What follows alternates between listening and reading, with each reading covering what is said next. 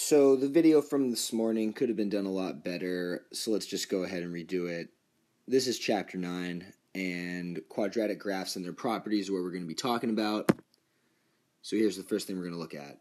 Uh, that is the graph of y equals x. That is where x and y are the same value, and whenever whatever you plug in for x, you get for y. So when you plot it, you get that diagonal line. We have looked at this line before. This is called the parent function for all linear graphs. Most basic thing, y equals x. Over here, we have what we're going to be looking at today, and that is the graph of y equals x squared. So the main difference here is that the x only had an exponent of 1, but the x squared has an exponent of 2. That's the difference.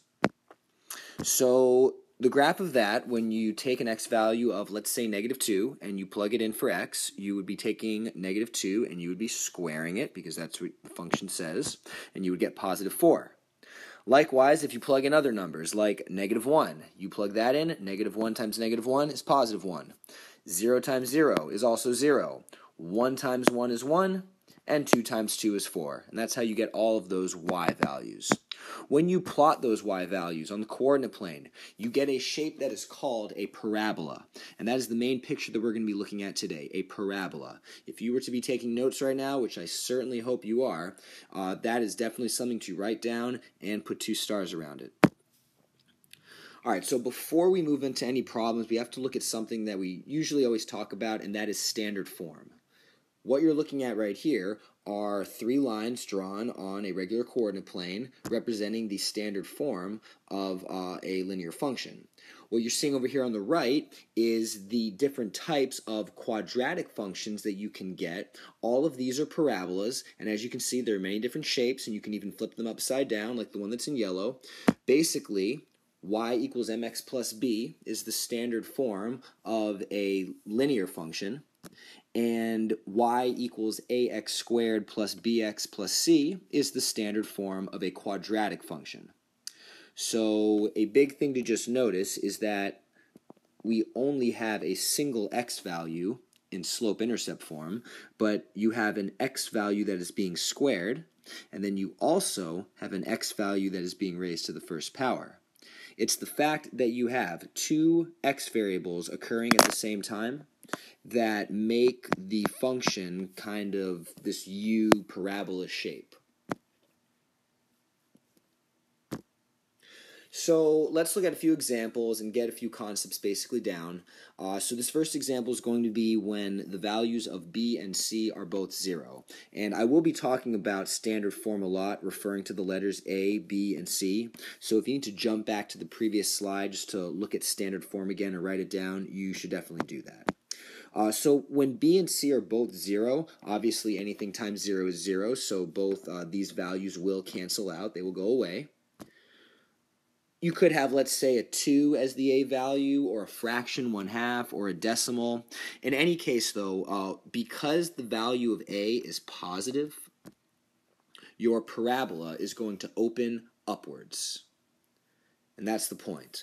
Where this parabola is drawn is not correct. It would not look like this shape. I can't guarantee that for any of these examples. This is just demonstrating the idea that because the value of a is positive, the parabola is opening upward. And that is a major concept that you have to get from just understanding what these quadratic functions look like. Likewise, if a were less than 0, so you have a bunch of negative numbers in front of the x squared, that parabola would open downward. Very logical. So two basic concepts. When a is greater than 0, it opens up. When a is less than 0, it opens down. And a is the coefficient in front of the x squared term. In this example, uh, B and C are both going to be 0 again, but this time A is going to be greater than 1. So that would be like a number like 4, or it could be a decimal like 1.5, or even a fraction 1 and 1 half. This is going to create a parabola that opens up more in a wide in a wider fashion, and it's just going to just open up more than than the previous picture, which which kind of looks like like that. That's kind of what a standard parabola looks like. This one's just going to open up a little more wider.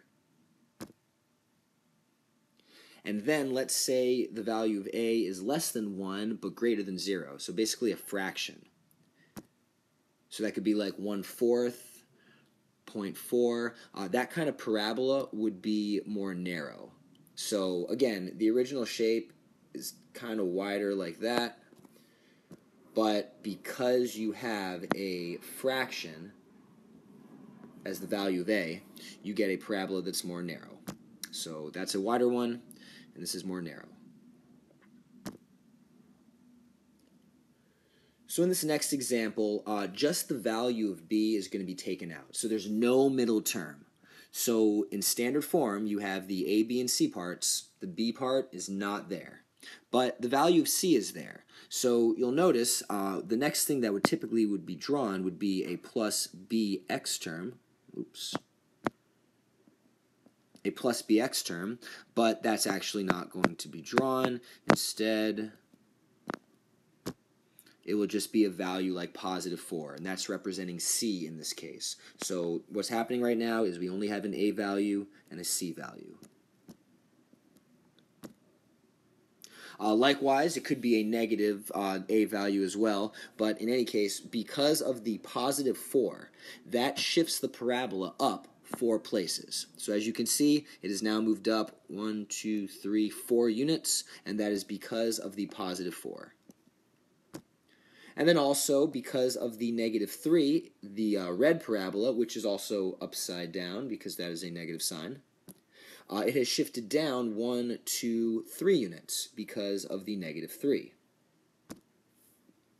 So basically, when the value of c is not 0, but b is 0, the parabola just shifts up and down. That's it. It doesn't go side to side. That's going to happen if the value of b is not 0. But because it is 0, it's only going to shift up or down. Just some quick vocabulary that you need to be aware of because it will be talked about a lot. The vertex of a parabola is the minimum point or the maximum point, and those are the locations of where they would be. A parabola that opens up has a minimum, and a parabola that opens down will always have a maximum. Also, the axis of symmetry is a big concept. It's basically the imaginary line that cuts the parabola in half. So as you can see, I represented it by this dot, this dash line that's there. Uh, it just cuts the parabola in half. It's a very visual concept. However, sometimes you don't get the graph given to you, and the formula that you would use is right here. Negative b over 2a, and we will explore that uh, in the next example. So here's kind of tying everything together. Uh, I'm just going to go through this quickly, and if you need to just kind of look through it again, obviously back things up.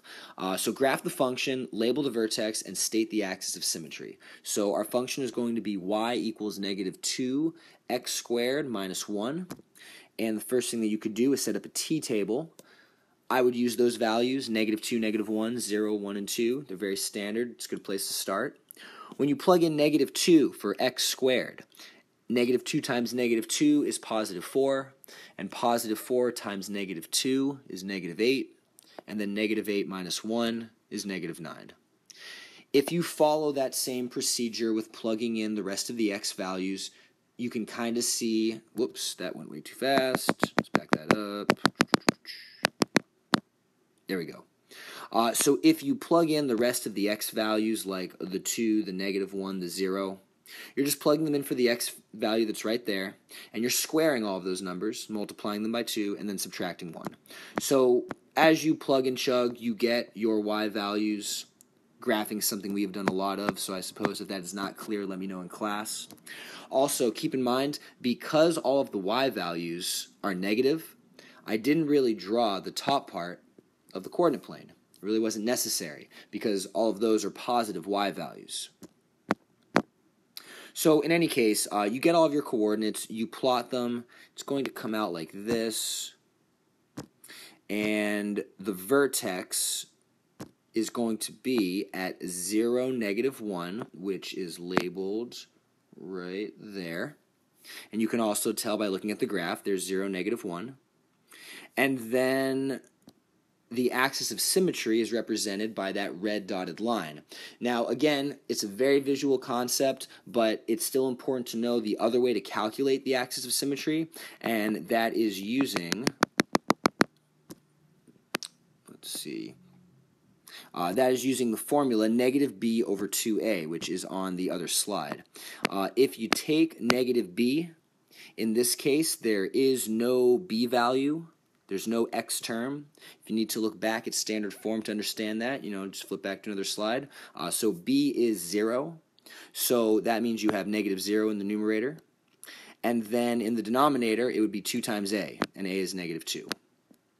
So uh, 0 divided by anything is 0. So that's why the axis of symmetry is 0, and that's just the other way to check it. Uh, so that's basically it, guys. Uh, that's 9-1. Do the classwork, ask questions. See you later.